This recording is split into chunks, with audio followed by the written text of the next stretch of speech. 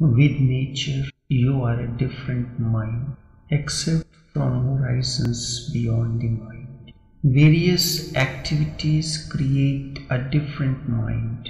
However, it can happen only if you are aware. Otherwise, you will remain the same. This is Karma Yoga. Your actions, when performed with awareness, create inner balance between body, mind, and being. Any activity that harmonizes and brings blissfulness definitely changes your consciousness. So, too, a different kind of mind exists when you are with nature.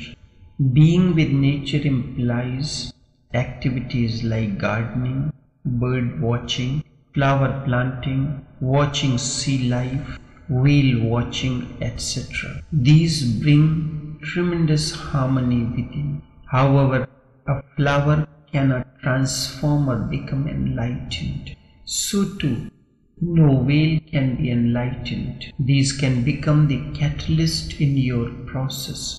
Only man can be enlightened because he has consciousness, and this consciousness has to be used in becoming more and more aware.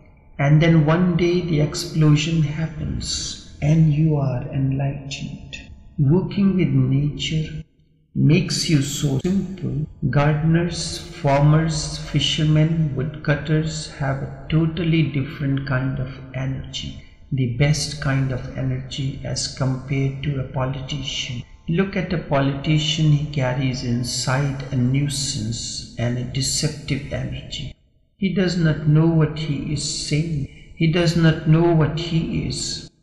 He is one thing, but he goes on saying another thing and still does something else. He is divided, confused within, yet arrogant. He is proud within. When a man who is money maniac comes, it is very difficult, indeed very difficult to talk to him because he knows only money value. By meditating, you cannot get money. He cannot get into meditation howsoever much he may want. His only value is money. For him, all that matters in the world is money. Now, out of meditation, money is not going to be produced.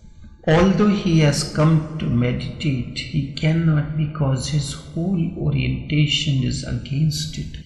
Politician cannot go deep in meditation because he is afraid to lose the ego. And that is his whole stake in life. He wants to make the ego stronger and stronger. He wants to become more and more successful. He wants to be the first man in the world. He is ambitious. He is violent and aggressive. And meditation teaches you how to be loving, non-violent, and non-aggressive and how to drop ambition and the ego. Now, even if he comes for some reason or the other, maybe he is getting too worried, or he cannot sleep, or his health is deteriorating, or he is getting heart attacks and blood pressures, or this and that. Therefore, he wants to be helped out. But he cannot be helped in any way because the basic foundation of his life energy is wrong.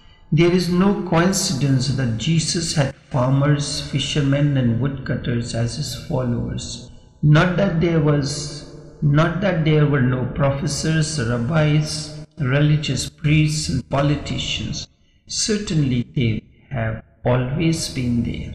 The world has never been in such a blessed and blissful state that politicians were not there. They have always been there None of these came to Jesus. And sometimes, even if they did, they could not connect with Jesus. Only very simple people could connect. The people who collected the Gospels were very illiterate and uneducated people. They were simple as well. That is why Christian Gospels have a beauty which the Vedas do not have which the Dhampad is missing. because the Vedas was written by great scholars who were trained philosophically, theoretically, and logically. They did not have the simplicity down to earthliness and connectedness. They did not have that natural metaphoric mind. When a farmer thinks, he thinks about trees and plants and animals. He thinks of very ordinary and common things. Kabir was much a mystic. His aphorisms were so simple that common men could relate to easily. I have heard two small children were asked to make a sentence to explain the word slow. The child who came from the city said slow means traveling in an old Ford. The boy who had come from the village was a farmer's son. He said slow means a cow walking while she is pregnant. Look at the similes and the difference. A Ford and a cow pregnant. The cow pregnant is an alive phenomena while Ford model is a dead mechanism, some old T model car. A totally different kind of mind exists when you are with nature. Researchers call it the metaphorical mind. It is not mathematical, instead, it lives in metaphors. That is why Jesus talks in parables. People ask him intricate, complex, and philosophical questions, and he answers in such a simple metaphorical way he tells a story or a parable. So did Ramakrishna Paramhans and the Sufi masters. Just be totally with the master and allow him to do something. The inner miracle will happen.